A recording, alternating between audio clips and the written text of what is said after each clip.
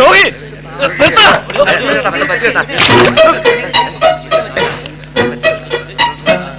കോഴിയല്ല പറന്നു മുട്ടയിട്ട്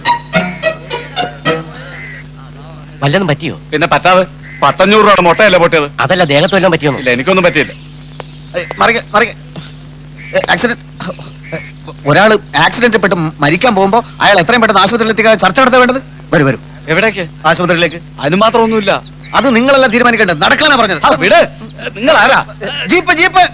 എനിക്ക് കുഴപ്പമൊന്നുമില്ല കുഴപ്പമില്ല. നിങ്ങളെല്ലാം? ഞാൻ ഈ ആക്സിഡന്റ് ഉണ്ടായാലും എല്ലാവരും രക്ഷിക്കുന്നതാ. നേരെ ശങ്കരമംഗല ആശുപത്രിയിലോട്ട് പോട്ടെ.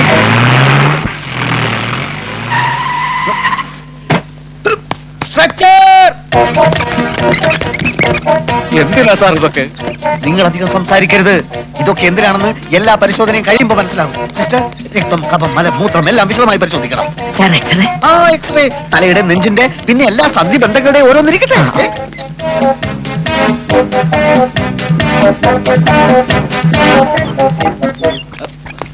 എല്ലാം എടുത്തല്ലോ? എടുത്തു സാർ. ഇതിലും ഭേദം. ആക്സിഡന്റ് ഞാൻ ചത്തു പോകുന്നതായിരുന്നു. അതിന് ഇനിയും സമയമുണ്ടല്ലോ. എല്ലാ പരിശോധന ചേർത്ത് ബില്ല് എന്ത് വരും? ആയിരത്തി അഞ്ഞൂറോളം വരും സാർ. വെരി ഗുഡ് എങ്കിലും നേരെ ഡോക്ടറെ കൊണ്ടുപോയി കാണിക്ക്. എക്സ്റേ പരിശോധന റിപ്പോർട്ട് എല്ലാം കാണിക്കണം. ഓപ്പറേഷൻ വേണ്ടി വന്നാൽ അത് ഉടൻ ചെയ്യാൻ ഏർപ്പാട് ചെയ്തേക്കും. ഒന്നിനും ഒരു കുറവും വരുത്തണ്ട. ഭഗവാനെ. ചെല്ലു ചെല്ലു ശ്വാസം വലിച്ചു വിട്ടെ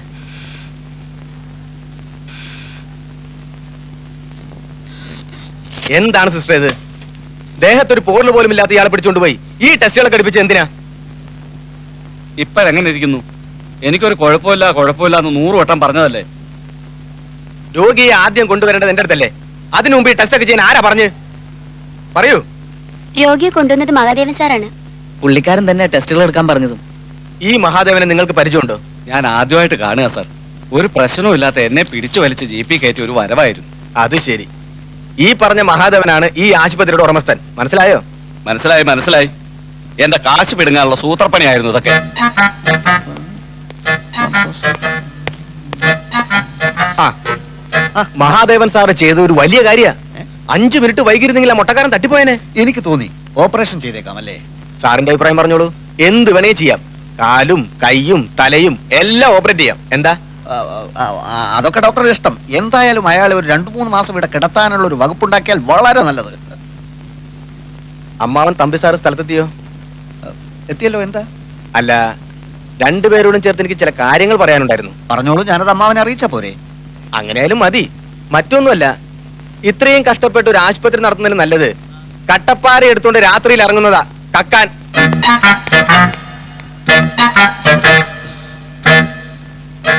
എന്നെ ഇത്രയും നേരം മെനക്കെടുത്തിയാണ് രണ്ടെണ്ണം പൊട്ടിച്ചേരണ്ട. ആശുപത്രി ഉടമസ്ഥൻ. രോഗികളെ പിടിക്കാൻ നടക്കുക. കൊള്ളാം. ഇക്കാര്യം നിങ്ങളോട് ആര് പറഞ്ഞു? ആരെങ്കിലും ആവട്ടെ. ഇതായത് വെച്ചോളൂ. എന്താ ഇത്? ഇല്ല. എല്ലാം കൂടെ ചേർത്ത് ആയിരത്തി അറുന്നൂറ് രൂപ വരും. സാറേ എനിക്കൊരു നൂറ് രൂപ ജീപ്പിന്റെ കാശ്. അതും ഞാൻ കൊടുക്കണം. പിന്നെ ആരും ഞാൻ കൊടുക്കണം? അല്ല ഒരു സംശയം ചോദിച്ചെന്നേ ഉള്ളൂ.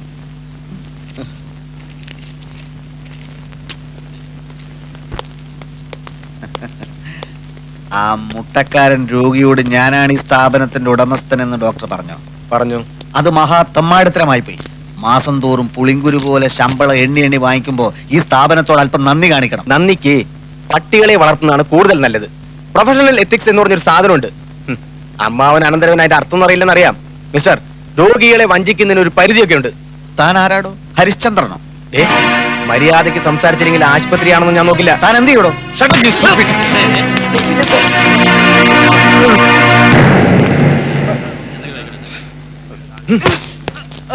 കള്ള പരീക്ഷകൾ ആത്മാഭിമാനമുള്ള ഒരാൾക്ക് ഇവിടെ ജോലി ചെയ്യാൻ കഴിയില്ല.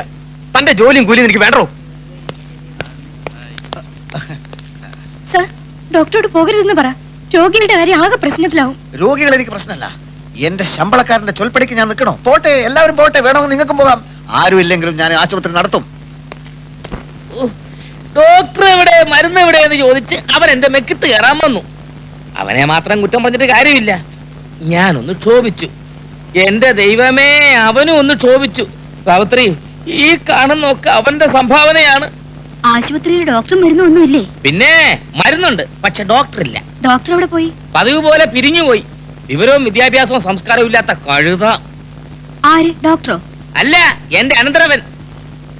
ആശുപത്രി ചുമതല ഞാൻ നോക്കിക്കൊള്ളാവുന്ന പല വട്ടം ആ തെണ്ടിയോട് ഞാൻ പറഞ്ഞതാ. ഫുൾ മാന്യന്മാരുടെ പെരുമാറാൻ അറിയാൻ മേല സംസാരിക്കാൻ അറിയാൻ മേല ഒരു മാസത്തിനിടയ്ക്ക് ഇത് മൂന്നാമത്തെ ഡോക്ടറാ പിരിഞ്ഞു പോകുന്നത്. ഇതിങ്ങനെ തുടർന്നാൽ ആ ആശുപത്രി വളപ്പിൽ തന്നെ ഒരു കുഴി കുത്തി എന്നെ അങ്ങോട്ട് മൂടിയാ മതി. കുരുത്തം കൊട്ട കൈക്ക് ഭയങ്കര വേദന. വാ വാ. അമ്മാവൻ നേരത്തെ ഇങ്ങ് പോന്നോ? കിട്ടേണ്ടത് കിട്ടിക്കഴിഞ്ഞാ പിന്നെ അവിടെ നിൽക്കേണ്ട കാര്യമില്ലല്ലോ. എന്ത് പറ്റി അമ്മാവ? മുഖത്തും ദേഹത്തൊക്കെ ആ, അതേ ഒരു പശു ഓടിച്ചപ്പം മറിഞ്ഞു വീണതാ. അയ്യോ അയ്യോ.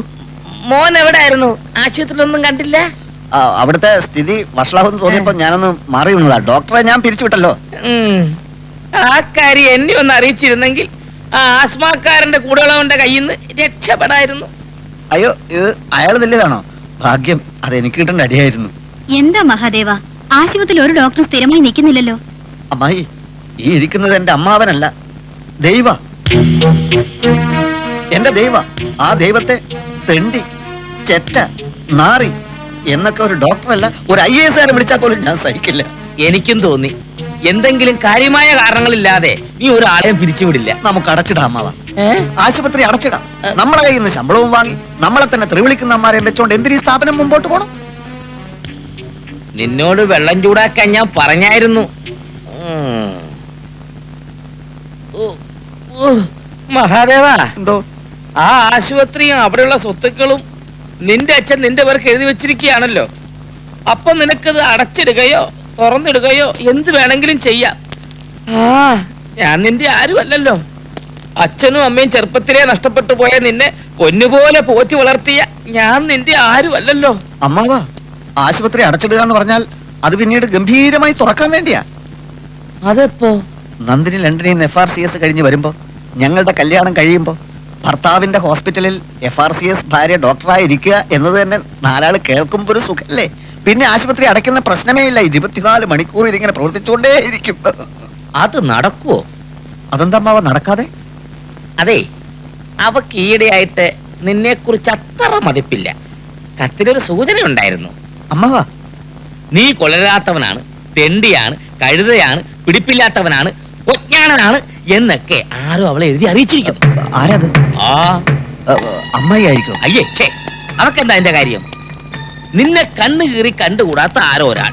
ആരായിരിക്കും അമ്മാവ് അത്? അതല്ലേ എനിക്കും അത്ഭുതം.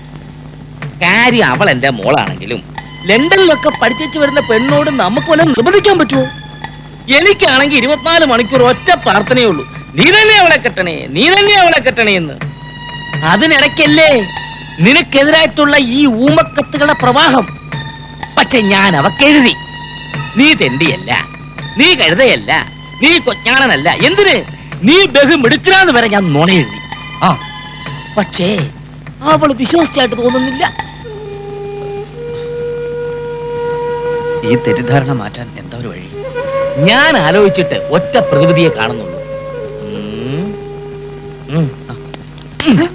നിന്റെ പേരുള്ള സ്വത്തുക്കൾ മുഴുവൻ അവിടെ പേരിലേക്ക് എഴുതി വെച്ച് നോക്കാം. എന്നിട്ട് അത് രജിസ്റ്റർ ചെയ്ത് അതിന്റെ ഒരു ഫോട്ടോ സ്റ്റാറ്റ് കോപ്പി ലണ്ടനിലേക്ക് അയച്ചു നോക്കാം. അവിടെ മനസ്സ് മാറുന്നെങ്കിൽ മാറട്ടുന്നേ. പിന്നൊരു കാര്യം എന്റെ പൊന്നു മഹാദേവ ഈ ബുദ്ധി ഞാനാ പറഞ്ഞു തന്നെന്ന് ഒരു കാരണവശാലും അവൾ അറിയാൻ ഇടയാകരുത്. അത്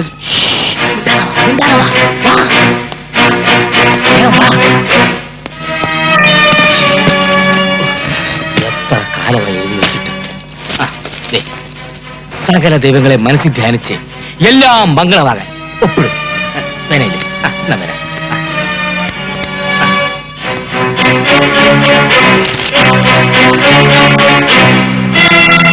വെള്ളം ചൂടായി. നിങ്ങൾ ആ ചെറുക്കനെ കൊണ്ട് സാവിത്രി! മോനൊപ്പിട്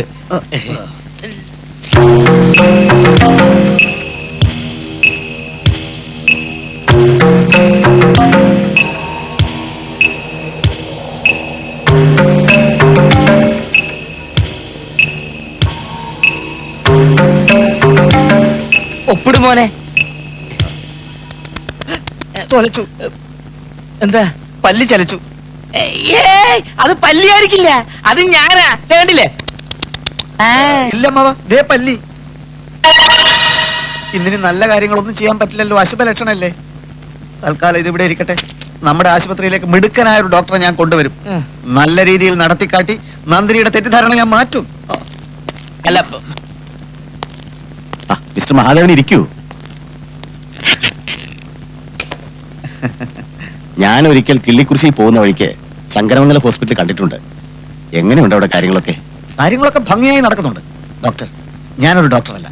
എങ്കിലും എന്റെ പ്രിയപ്പെട്ട രോഗികൾക്ക് മിടുക്കന്മാരായ ഡോക്ടർമാരുടെ സേവനം ലഭ്യമാക്കണമെന്ന് എനിക്ക് നിർബന്ധമുണ്ട്. ഡോക്ടർ അങ്ങോട്ട് വരികയാണെങ്കിൽ ഞാൻ ഡോക്ടർക്ക് എന്തും തരും. എന്ത് തരും? എന്തും. എന്നെ കുറിച്ച് മിസ്റ്റർ മഹാദേവനോട് ആരാ പറഞ്ഞത്? ഇന്ത്യയിൽ ജീവിക്കുന്ന ആർക്കാ ഡോക്ടർ അലക്സിനെ പറ്റി അറിയാത്തത്? ആ, അതിരിക്കട്ടെ. ഡോക്ടർ ജോസഫ് മാത്യു എന്തുകൊണ്ടാണ് അവിടെ നിന്ന് പോയത് ഡോക്ടറോടായതുകൊണ്ട് സത്യം പറയാതെ തിരിച്ചുവിട്ടതാണ്? കാരണം? മറ്റുള്ളവരെ പറ്റി കുറ്റം പറയുന്നത് എനിക്കിഷ്ടമല്ല. കേൾക്കാൻ എനിക്ക് ആഗ്രഹമുണ്ട് എന്നാലും ഞാനത് ഡോക്ടറോടായതുകൊണ്ട് മാത്രം പറയണം. ഡോക്ടർ ജോസഫ് മാത്യു ആൾ മഹാ ചീപ്പാണ്. അത് ശരി. കൊള്ളാലോ. അപ്പൊ ഡോക്ടർ ജോസഫ് മാത്യു ആൾ ചീപ്പാണല്ലേ?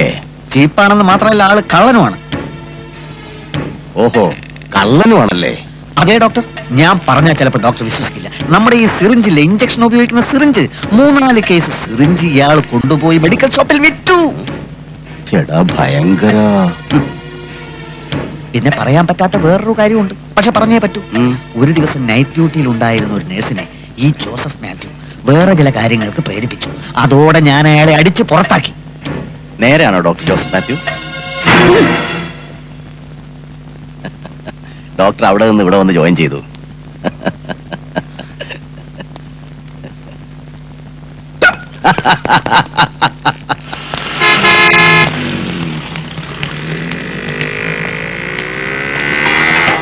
ഹലോ. രാഘവൻ തമ്പി സാറിന്റെ മകൻ മഹാദേവൻ തമ്പിയല്ലേ? അതെ. ഞാൻ അയ്മുട്ടി. ചെറുപ്പത്തിലെ ബാപ്പാന്റെ കൂടെ ഞാൻ തറവാട്ടിൽ വന്നിട്ടുണ്ട്. ഓർമ്മയുണ്ട് എന്നെ? എവിടെ നിന്നല്ലേ കൊല്ലൊത്രയായി കണ്ടിട്ട്. നിങ്ങളുടെ അച്ഛന്റെ കുടിയാനായിരുന്നു നമ്മുടെ ബാപ്പ. നമ്മുടെ കുടുംബത്തിന് എന്തെങ്കിലും ഉന്നതി ഉണ്ടായിട്ടുണ്ടെങ്കിൽ അത് നിങ്ങളുടെ അച്ഛന്റെ ദൈവം ഉണ്ടാന്ന് ബാപ്പ എപ്പോഴും പറയാറുണ്ട്. ഞാനിവിടെ ഇല്ലായിരുന്നു. പത്ത് വർഷമായിട്ട് സലാലയിലാ. ഇനി പോണില്ല. ഇപ്പൊ ഇവിടെ ഇലക്ട്രിസിറ്റി ബോർഡിലെ എഞ്ചിനീയറാ ബാപ്പയുടെ പേരെന്താ പറഞ്ഞത്? കുഞ്ഞിമായൻ. അച്ഛൻ പറഞ്ഞു കേട്ടിട്ടുണ്ടാവണം. ഇപ്പൊ ആശുപത്രി നടത്തുകയാണല്ലേ? അതെ. എങ്ങനെയുണ്ട്? ഭയങ്കര പേരാ. ചീത്തപ്പേര? അങ്ങനെയാണ് ഞാൻ കേട്ടത്. കാശിന്റെ കാര്യത്തിൽ ഭയങ്കര കത്തിയാണ്. നല്ല ഡോക്ടർമാരില്ല. നേര് പറഞ്ഞ തമ്പിസാറിന്റെ മകൻ നടത്തുന്ന ആശുപത്രിയെ പറ്റി ഇങ്ങനെയൊക്കെ കേട്ടപ്പോ കുറച്ച് വിഷമം തോന്നി. ഇതാര് പറഞ്ഞു? ആരാ പറയാത്തത്? ആകെ ഉണ്ടായിരുന്നൊരു ഡോക്ടർ സ്ഥലം വിട്ടോ? അത് പറഞ്ഞോ? അറിഞ്ഞു. പുതിയ ഡോക്ടർ കിട്ടിയോ? ഇല്ല. ഇപ്പൊ അങ്ങോട്ട് കേറാൻ പറ്റാത്തൊരവസ്ഥയാ. കഴിഞ്ഞ ദിവസം എന്റെ അമ്മാവനെ ആരോ രോഗികൾ തല്ലി. അയ്യോ. നല്ലൊരു ഡോക്ടറെ കിട്ടിയില്ലെങ്കിൽ ആശുപത്രി തന്നെ തീവെച്ച് നശിപ്പിക്കുമെന്നുള്ളൊരു ഭീഷണിയും നിലവിലുണ്ട്. കഷ്ടം. എ വി എം ഹോസ്പിറ്റലിൽ ഒരു ഡോക്ടർ ഫൈസലുണ്ട്. മീട്ടും മിടുക്കനാ. പക്ഷെ അയാൾ വരില്ല. ആ പിന്നെ ഒരു ഡോക്ടർ പരിധികളെ കുറിച്ച് കേട്ടിട്ടില്ലേ? ഉവ്വ്. പക്ഷെ അയാൾ അടുത്ത ആഴ്ച മദ്രാസിൽ അപ്പോൾ ഹോസ്പിറ്റലിലേക്ക് പോവുക. പിന്നെ ആരുണ്ട്? ഏതെങ്കിലും ഒരു മിടുക്കൻ ഡോക്ടറെ കിട്ടിയിരുന്നെങ്കിൽ ശമ്പളം ഒന്നും ഒരു പ്രശ്നമേ അല്ല. കോന്നിയിലെ മിഷൻ ആശുപത്രിയിൽ ഇപ്പൊ ഒരു ഡോക്ടർ ഉണ്ട്. കഴിഞ്ഞ ആഴ്ച എളാപ്പാന്റെ മുന്നിൽ ആക്സിഡന്റ് പെട്ടപ്പോ അവിടെയാണ് കൊണ്ടുപോയത്. കേരളത്തിലെ പ്രഗത്ഭരായ എല്ലാ ഡോക്ടർമാരും കൈയൊഴിഞ്ഞ കേസാണത്. എനിക്ക് നിൽക്കാൻ പറ്റാത്ത ചെറുക്കനോട് മൂന്നാം ദിവസം ഡോക്ടർ ഓടാൻ പറഞ്ഞു. ചെറുക്കനോടി കുറച്ചു ദിവസത്തെ പരിചയമുള്ളെങ്കിലും ഞങ്ങൾ പെട്ടെന്ന് ഞങ്ങളുടെ സുഹൃത്തുക്കളായി. മൂപ്പര് വരോന്നറിയില്ല ഞാനൊന്ന് ശ്രമിച്ചു നോക്കണ. അയാളെ തലപ്പെടുത്തി തന്നാൽ അയമോട്ടേക്ക് പുണ്യം കിട്ടും. സമാധാനപ്പെട്. നമ്മൾ ഏറ്റിരിക്കണ് തമ്പിസാറിന്റെ മോനെ നമുക്ക് കൈവിടാൻ പറ്റുവാ? കോന്നിയിലെ ഡോക്ടറെ കിട്ടണമെന്ന് പഠിച്ചോനാണ് അങ്ങോട്ട് പ്രാർത്ഥിച്ചോളി. ആ പറ്റിയാൽ ഇപ്പൊ തന്നെ നമ്മൾ റെസ്റ്റ് വിളിച്ചോക്കട്ടെ ബൂത്ത് എവിടെയാണാവും? ആ.